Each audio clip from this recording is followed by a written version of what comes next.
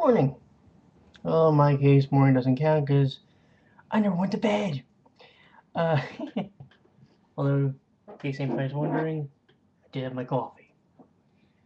Um, we're going to do, for this channel, something called a Let's Defend series.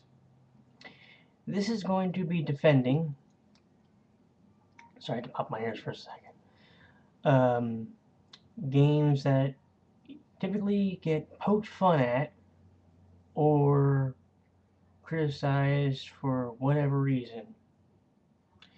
And we're going to try and look at the issue from another perspective.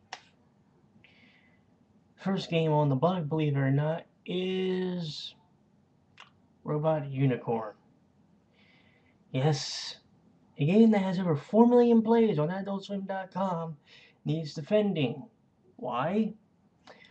Well, let me, how do I put this? I obviously have this site as my home page. And occasionally I like to type in Robot Unicorn Attack to see if anybody's put up any Let's Plays or any reviews about the game using actual footage from the game. And I don't think I've seen anything really bad, but there was one person that had me kind of going and roll my eyes because he did a he did a two-part thing, and over the course, I think he called the game the gayest thing he's ever seen or something. Now, let me ask this question. How many red blood men have actually played a Mega Man game. I'll raise my hand now because I played, I think, every one up to up to the newest one on the regular series and almost all the X series games. Let's understand something. Okay, I, I get it. I, I, get, I get the whole thing because rainbow typically is the symbol for the gay community. Great. So you're thinking it's like the gay. So you're thinking like, oh my god, it's a gay game. First off, it's on AdultSwim.com, and if you're not adult enough to play it, you shouldn't be.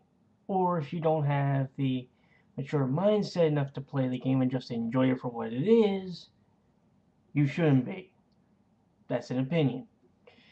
Second off, um, when you play a Mega Man game, have you ever thought about this? You're a male robot who's actually trying to catch another guy. Hmm. Now, trust me, I get it. That's not the context Capcom was trying to put it in. But if you really stopped and think, to stop to think about it, yeah, you could put it in that context. You have a male robot, A, going around blowing up other male robots in order to catch another guy, a human guy. Hmm. And it's never been brought to anybody's attention that the closest thing to a female in the game has been, oh yeah, a robot. By the way, I'm referring to Roll or in Mega Man 9, the, the lone boss known as Splash Woman who happened to be a mermaid and the weakest character in the game. Interesting. But it never, ever, ever crossed anybody's mind that could, you know, be a little weird. I'm just saying. Yes, I know I probably took that viewer. Yes, I know you could probably sit there and say that about 800 games, but let's face facts. Robot Unicorn has over 4 million plays. Not 4,000, not 400, not 40, not 4. 4 million. And while its rating is probably around 7.1, it actually should be better because guess what? The game is not bad. Anybody wants to criticize the music because of the song, let's let's face facts. That's probably one of the selling points of the game, even though the game is actually for free. Yes, I know. So those people who want to be, I don't want to say critical, but poke fun at the game. Well, yes, the game was probably meant to be a joke. It is actually one of the most addicting and fun games to come out in probably the past couple of years, and it's free. You don't have to, you don't have to pay 60 bucks and think, oh dear God. Plus, anybody that's willing to sit there and play the game for five minutes, I guarantee is you're addicted to it. I mean, hell, I was playing it at like three o'clock this morning, and I and I beat my personalized scores. Well, my personalized scores, I'm still not where it's like sixty thousand, which is where I want to be, but what the hell. Like I've actually seen where people have titled videos on YouTube and it says let's lose some manliness and play. Or uh, one person called the one person that did a review said, um, it's the gayest game ever, or during their review, and it's like, okay, you're calling it that, yet you did a two-part review of the review slash walkthrough or let's play the game. So, what's it say about you?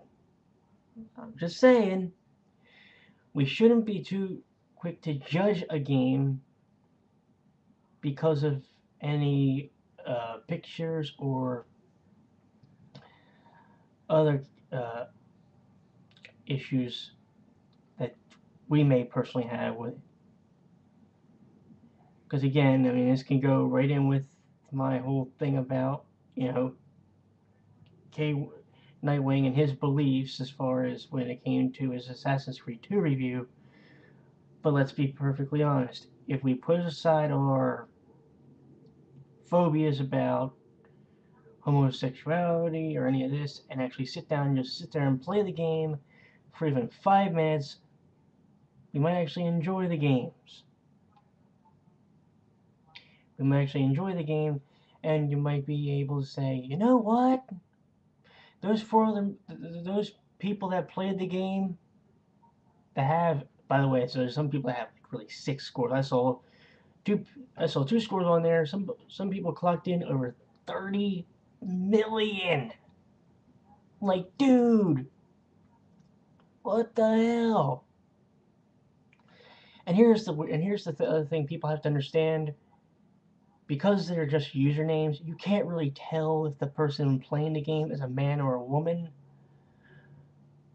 So to judge anyone say, oh, that person's gay because they play such and such a game. No. They might actually enjoy the game. Yes, I was shown the game by a female, but guess what? I play it because it's a fun game. I don't play it because it's a hyped game because it's not. Go watch Cartoon Network or something, or go watch um, any other network outside of Cartoon Network and tell me how much the game gets hyped. It doesn't. But yeah, it's a very fun game, and it needs to be looked at as just a fun game. My name is Amisbro, and this has been the first ever Let's Defend for Robot Unicorn Attack.